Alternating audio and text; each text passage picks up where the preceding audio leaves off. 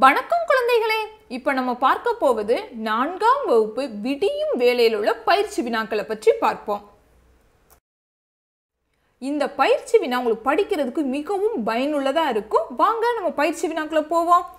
சரியான பலூன்களை எடுத்து பொருத்துக. அதாவது ஐந்து கேள்வி இருக்கு. இங்க பக்கத்துல பலூன் கொடுத்துருக்காங்க. ஒவ்வொரு பலூன்ல ஒவ்வொரு சொல் இருக்கு. இந்த கேள்விக்கு ஏத்த மாதிரி சரியான பலூ பலூன்ல என்ன சொல் இருக்கோ பொருத்தி எழுத சொல்லியிருக்காங்க. முதல் கேள்வி வேலை. வேலைனா என்னது? நேரம். வேலைனா என்னது? நேரம். இரண்டாவது பொதி. பொதினா என்னது? மூட்டை. பொதினா என்னது? மூட்டை. மூன்றாவது மூன்றாவது ஆயத்தப்படுத்துதல். ஆயத்தப்படுத்துதல்னா என்னது? தயார் செய்தல். ஆயத்தப்படுத்துதல்னா என்னதுன்னா தயார் செய்தல். நான்காவது துளிர். துளிர்னா என்னது? இளம் இலை. துளிர்னா என்னது? இளம் இலை. ஐந்தாவது கொடியடுப்பு. கொடியடுப்புனா என்னது? பக்க அடுப்பு. கொடியடுப்புனா என்னது? பக்க அடுப்பு. சரியான சொல்லை தெரிவு செய்து எழுதுவோமா? முதலில் சாலை எங்கும் இச்சொல்லை பிரித்து எழுத கிடைப்பது. அதாவது சாலை எங்கும் இச்சொல்லை பிரித்தா என்ன கிடைக்கும்னு கேட்குறாங்க சாலை கூட்டல் எங்கும். சாலை எங்கும் பிரித்தா என்ன கிடைக்கும்? சாலை கூட்டல் எங்கும். இரண்டாவது சுண்டி இழுக்கும் இச்சொல்லை பிரித்து எழுத கிடைப்பது. அதாவது சுண்டி இழுக்கும் இந்த சொல்லை பிரித்தா என்ன கிடைக்கும்னு கேட்குறாங்க சுண்டி கூட்டல் இழுக்கும். அதாவது சுண்டி இழுக்கும் பிரித்தா சுண்டி கூட்டல் இழுக்கும். மூன்றாவது ஓடி கூட்டல் ஆடி என்பதை சேர்த்து எழுத கிடைக்கும் சொல். சே அதாவது ஓடி கூட்டல் ஆடியை சேர்த்து எழுதுனா என்ன கிடைக்கும்னு கேட்குறாங்க ஓடி யாடி ஓடி யாடி நான்காவது காலை கூட்டல் பொழுது என்பதை சேர்த்து எழுத கிடைக்கும் சொல். அதாவது காலை கூட்டல் பொழுதை சேர்த்து எழுதுனா என்ன கிடைக்கும்னு கேட்குறாங்க காலை பொழுது என்னது? கூட்டல் எடுத்துட்டு இப்பு சேர்க்கணும். காலை பொழுது ஐந்தாவது வரகு கூட்டல் அரிசி என்பதை சேர்த்து எழுத கிடைக்கும் சொல். அதாவது வரகு கூட்டல் அரிசியை சேர்த்து எழுதுனா என்ன கிடைக்கும்னு கேட்குறாங்க வரகரிசி வரகரிசி உணவு கூட்டல் அளிக்க என்பதை சேர்த்து எழுத கிடைக்கும் சொல். அதாவது உணவு கூட்டல் அளிக்கையை சேர்த்து எழுதுனா என்ன கிடைக்கும்னு கேட்குறாங்க உணவளிக்க உணவளிக்க. இப்போ நம்ம வினா விடையை பற்றி பார்ப்போம். முதல் கேள்வி அழகிய மலை கிராமத்தின் பெயர் என்ன? அதாவது அழகிய மலை கிராமத்தோட பெயர் என்னன்னு கேட்குறாங்க பதில் அழகிய மலை கிராமத்தின் பெயர் மன்னவனூர். அதாவது அழகிய மலை கிராமத்தின் பெயர் என்னன்னா மன்னவனூர். இதில் அழகிய மலை கிராமத்தின் பெயர் வந்து கேள்வியிலேயே உங்களுக்கு இருக்குது அதை பார்த்து கீழே எழுதுங்க. மன்னவனூருங்கிறது தான் பதில். அதையும் சேர்த்துக்குங்க. இரண்டாவது கேள்வி கிராமத்தில் உனக்கு பிடித்த இயற்கை காட்சிகளை எழுதுக. அதான் உனக்கு பிடிச்ச இயற்கை காட்சியில் எழுத சொல்லியிருக்காங்க. அதில் உள்ள இயற்கை காட்சி என்னன்னு பார்ப்போம். பதில் மரங்கள் நனைந்து கிளைகளிலும் இலைகளிலும் நீர்த்திவளைகள் தெரிந்தன. பஞ்சு பொதிகள் போன்ற மேக கூட்டங்கள் வளைந்து நெளிந்து செல்லும் பாதையை மறைத்து மிதந்தபடி சென்றன. பச்சை பசேல் என்று வயல்வெளிகளும் சிலுசிலுப்பான காற்றும் கூடவே எழுந்தது. இதுவே கிராமத்தின் எனக்கு பிடித்த இயற்கை காட்சி. இந்த இயற்கை காட்சி தான் நம்ம பாடப்பகுதியில் இருக்கு. மூன்றாவது கேள்வி. பிள்ளைகள் காலை உணவாக என்ன சாப்பிட்டார்கள்? அதாவது பிள்ளைங்கள் காலைகள் காலை உணவாக என்ன சாப்பிட்டாங்கன்னு கேட்குறாங்க வரகரிசி சோறு ஆவி பறக்கும் பருப்பு கடையல் மற்றும் தொட்டு சுவைக்க சுள்ளென்ற பிரண்டை துவையல் ஆகியவை பிள்ளைகள் காலை உணவாக சாப்பிட்டார்கள். இதில் முக்கியமானது என்னதுன்னா வரகரிசி சோறு ஆவி பறக்கும் பருப்பு கடையல் மற்றும் சு தொட்டு சுவைக்க சுண்டிலுக்கும் பிரண்டை துவையல். இதை மூணு ரொம்ப முக்கியமான அதோட கேள்வியிலே இருக்க. அப்படி பார்த்து எழுதிக்கலாம்.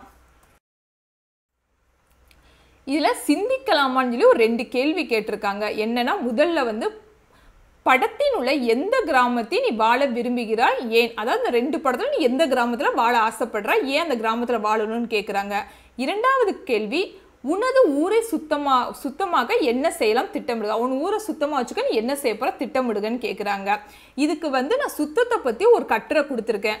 அதை எடுத்துக்காட்டாக வச்சுட்டு உங்களோட சிந்தனையில் நீங்களாக ஒரு கட்டுரை எழுதுங்க. இந்த கட்டுரையில் தூய்மையை பற்றி பார்ப்போம். முன்னுரை.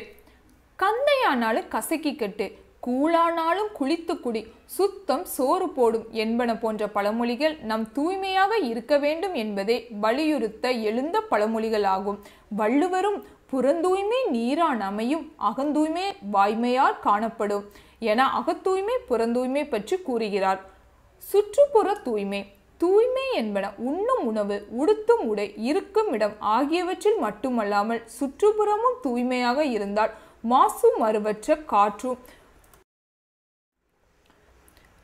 தூய்மையான குடிநீரும் கிடைக்கும். இல்லாவிடில் தீய விளைவுகள் உண்டாகும். நோயற்ற வாழ்வாகிய குறைவற்ற செல்வம் பெற வேண்டுமெனில் புறந்தூய்மை இன்றியமையாதது இந்தியாவின் பெரும்பான்மையான மக்கள் சேரிகளிலும் தண்ணீர் தேங்கிய தாழ்வான பகுதிகளிலும் வாழ்கிறார்கள். சுற்றுப்புறங்களின் குப்பை கூலங்கள் தேங்கியுள்ளன. சாலை ஓரங்களில் கழிப்பிடமாக்குவதும் கண்ட இடங்களில் எச்சே உமிழ்வதும் சுற்றுப்புற தூய்மைக்கு கேடு விளைவிக்கின்றன. தூய்மை கேடுகள் நாட்டின் தொழிற்சாலைகள் எங்கும் பெருகிவிட்டன. அவை தீய புகையை கக்குவதனால் நச்சுக்காற்று பரவி மனிதனை அழிக்கிறது. சாய தொழிற்சாலை தோல் பதனீடு தொழிற்சாலை முதலிய இடங்களிலிருந்து கசிவு நீர் வெளியாகி தண்ணீரோடு கலந்து விடுகிறது. இதனால் மஞ்சள் காமாலை வாந்தி பேதி முதலிய நோய்கள் ஏற்படுகின்றன. போக்குவரத்தாலும் தூசுகள் காற்றில் பரவுகின்றன.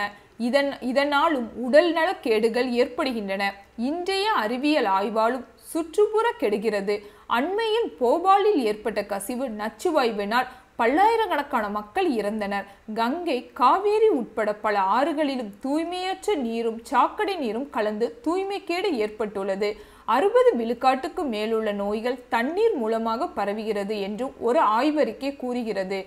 பெரிய நகரங்களில் உள்ள தொழிற்சாலைகளில் கழிவு நீரை ஆற்று நீரில் கலக்கச் செய்வதனால் நீர்வாழ் உயிரினங்கள் அழிந்து போகின்றன.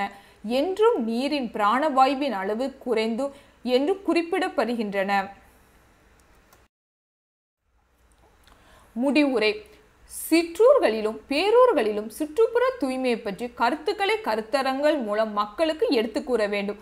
நாட்டு நலப்பண திட்ட மாணவர்கள் சுற்றுப்புற தூய்மையினால் வரும் தூ நோய்களை பற்றியும் தூய்மையின் இன்றியமையாமை பற்றியும் எடுத்து கூற வேண்டும். அரசு செய்யும் எல்லா நடவடிக்கைகளுக்கும் பொதுமக்கள் ஒத்துழைத்து சுற்றுப்புற தூய்மையை பேணி காக்க வேண்டும். இந்த சுற்றுப்புற தூய்மையை பற்றி உள்ள கட்டுரை உங்களுக்கு பயனுள்ளதாக இருக்கும். இதை அடிப்படையாக வச்சு எல்லா கட்டுரையும் நீங்கள் எழுத பாருங்கள் இந்த பயிற்சி வினா எல்லாருக்கும் மிகவும் பயனுள்ளதாக இருக்கும். அடுத்த பயிர் அடுத்த காணொளி அடுத்த பயிற்சி வினாவை பற்றி பார்ப்போம். இந்த காணொலி பிடிச்சிருந்தா எல்லாம் லைக் பண்ணுங்க. அப்படியே நம்ம சேனலை சப்ஸ்கிரைப் பண்ணாதவங்க சப்ஸ்கிரைப் பண்ணிருங்க. அப்படி தமிழில் எந்தெந்த பாடத்திற்கு பயிற்சி வினா தேவையோ கமெண்ட் செக்ஷனில் பதிவு பண்ணுங்க. உங்களுக்கு உடனுக்குடன் வந்து சேரும். நன்றி.